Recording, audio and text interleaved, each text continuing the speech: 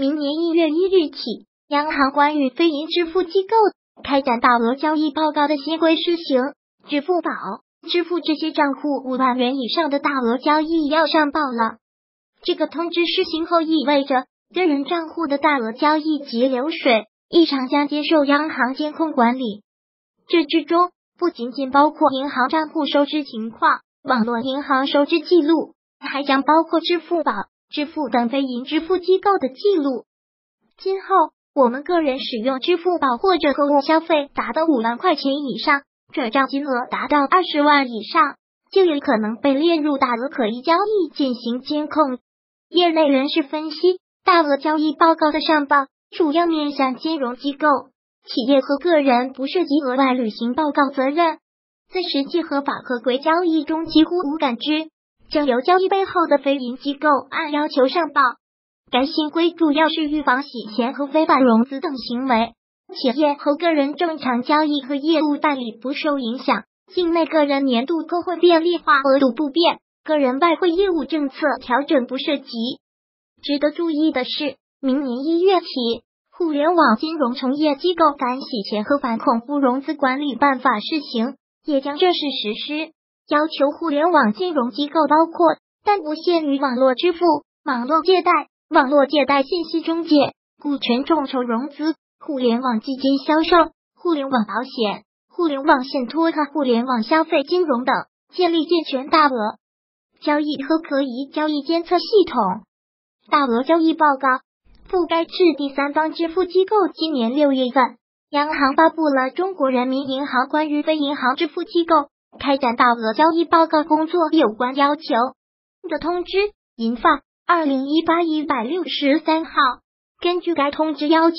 二零一九年一月一日起，包括支付、支付宝等在内的非银行第三方支付机构，以下交易情况必须上报：一、当日单笔或者累计交易人民币五万元以上，含五万元外币等值一万美元以上，含一万美元的现金收支。二、非自然人客户支付账户与其他账户发生当日单笔或者累计交易人民币二百万元以上，含二百万元外币等值二十万美元以上，含二十万美元的款项划转。三、自然人客户支付账户。与其他账户发生当日单笔或者累计交易人民币五十万元以上，含五十万元外币等值十万美元以上，含十万美元的境内款项划转。四、自然人客户支付账户与其他的银行账户发生当日单笔或者累计交易人民币二零万元以上，含二十万元外币等值一万美元以上，含一万美元的跨境款项划转。这个通知施行后，意味着个人账户的大额交易及流水异常将接受央行监控管理。这之中不仅仅包括银行账户收支情况、网络银行收支记录，还将包括支付宝、支付等非银支付机构的记录。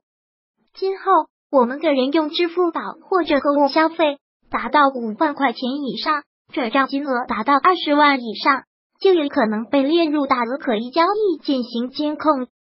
北京街道城财务顾问分析，大额交易是指用户通过金融机构或支付机构发生的达到了央行规定大额金额的交易。按照《中华人民共和国反洗钱法》的规定，报告大额交易是金融机构及支付机构应当履行的三项核心反洗钱义务之一，也为央行依法开展反洗钱资金交易监测分析。奠定坚实的数据基础，央行以此数据基础开展主动分析、协查分析和国际互协查，依法向执法部门移送案件线索，与相关部门一起预防洗钱、恐怖融资行为，维护国家金融安全。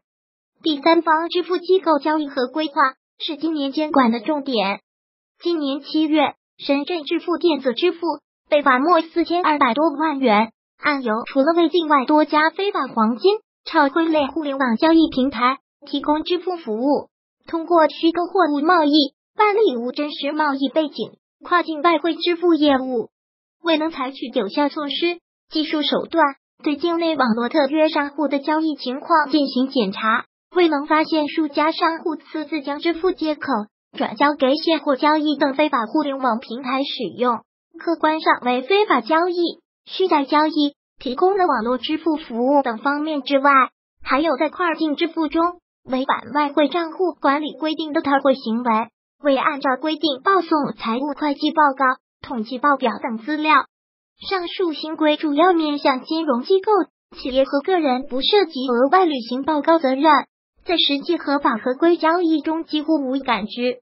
需注意的是，一位业内人士告诉券商中国记者，这个规定并不是为了限制大额消费或者移动支付，而是为了打击洗钱、恐怖等相关非法活动。平时大家正常消费取现，没有涉及相关违法活动，不会受到什么影响。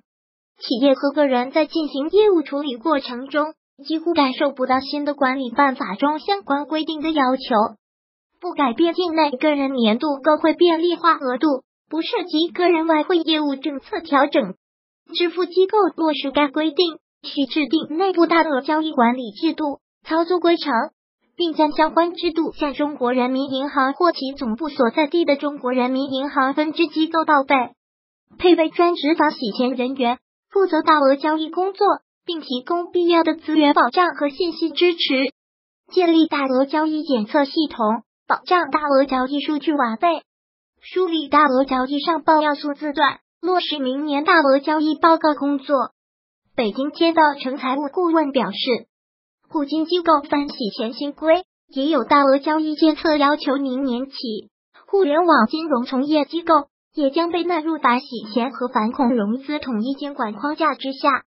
今年十月十日，银保监会、证监会联合发布《互联网金融从业机构反洗钱和反恐怖融资管理办法》施行。该管理办法要求，互联网金融从业机构反洗钱和反恐怖融资工作的基本义务，一是建立健全反洗钱和反恐怖融资内部控制机制；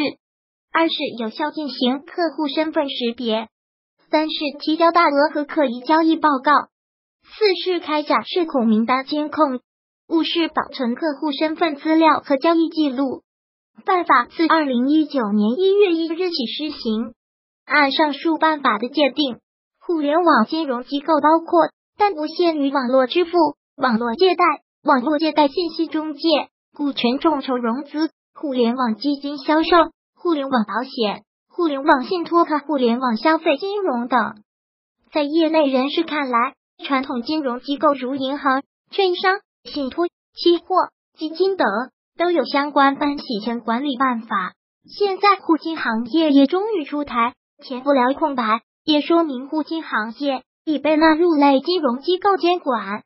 苏宁金融研究院互联网金融中心主任薛红岩也认为，互金行业的整体性框架出台。意在把更多的互联网金融业态纳入反洗钱和反恐融资统一监管框架下，消除监管空白地带。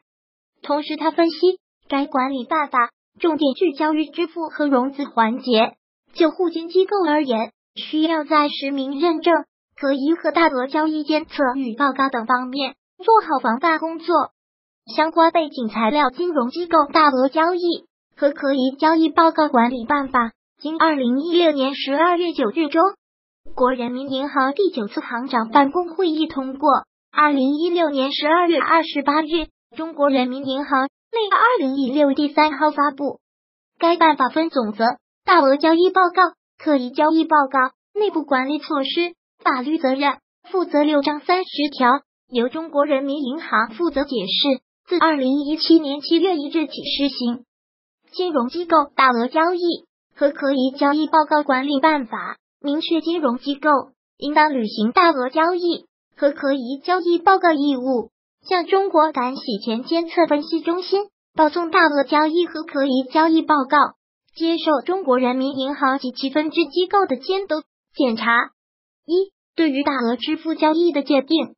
幺、当日单笔或者累计交易人民币五万元以上，含五万元外币等值一万美元。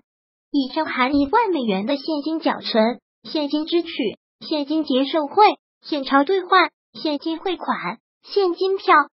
拒减负及其他形式的现金收支。二、非自然人客户银行账户与其他的银行账户发生当日单笔或者累计交易人民币二百万元以上含二百万元，外币等值二十万美元以上含二十万美元的款项化转。三、自然人客户银行账户与其他的银行账户发生当日单笔或者累计交易人民币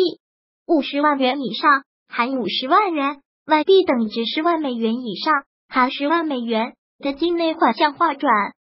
四、自然人客户银行账户与其他的银行账户发生当日单笔或者累计交易人民币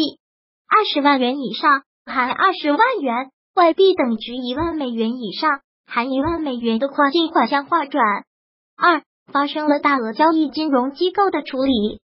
对同时符合两项以上大额交易标准的交易，金融机构应当分别提交大额交易报告。金融机构应当在大额交易发生之日起五个工作日内，以电子方式提交大额交易报告。客户通过在境内金融机构开立的账户或者境内银行卡所发生的大额交易。由开立账户的金融机构或者包卡银行报告，客户通过境外银行卡所发生的大额交易，由收单机构报告；客户不通过账户或者银行卡发生的大额交易，由办理业务的金融机构报告。三、对可疑交易的界定：幺、短期内资金分散转入、集中转出或集中转入、分散转出；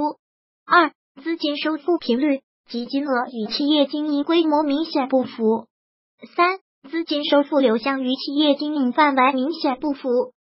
四、企业日常收付与企业经营特点明显不符。五、周期性发生大量资金收付与企业性质、业务特点明显不符。六、相同收付款人之间短期内频繁发生资金收付。七、长期闲置的账户原因不明的突然启用。且短期内出现大量资金收付。八、短期内频繁的收取来自与其经营业务明显无关的个人汇款。九、存取现金的数额、频率及用途与其正常现金收付明显不符。十、个人银行结算账户短期内累计一百万元以上现金收付。幺幺、与贩毒、走私、恐怖活动严重地区的客户之间的商业往来活动明显增多。短期内频繁发生资金支付，幺二频繁开户销户，且销户前发生大量资金收付。幺三有意化整为零，逃避大额支付交易监测。幺四中国人民银行规定的其他可疑支付交易行为。幺五金融机构经判断认为的其他可疑支付交易行为。注意，实际中金融机构按自己规定的情形或标准来判断。四。发生了可疑交易，金融机构的处理。金融机构发现或者有合理理由怀疑客户、客户的资金或者其他资产、客户的交易或者使途进行的交易与洗钱、恐怖融资等犯罪活动相关的，不论所涉资金金额或者资产价值大小，应当提交可疑交易报告。金融机构应当在按本机构可疑交易报告内部操作规程。确认为可疑交易后，即使以电子方式提交可疑交易报告，最迟不超过五个工作日。如果喜欢本视频，请分享并订阅本频道，别忘了按赞哦！哎呦。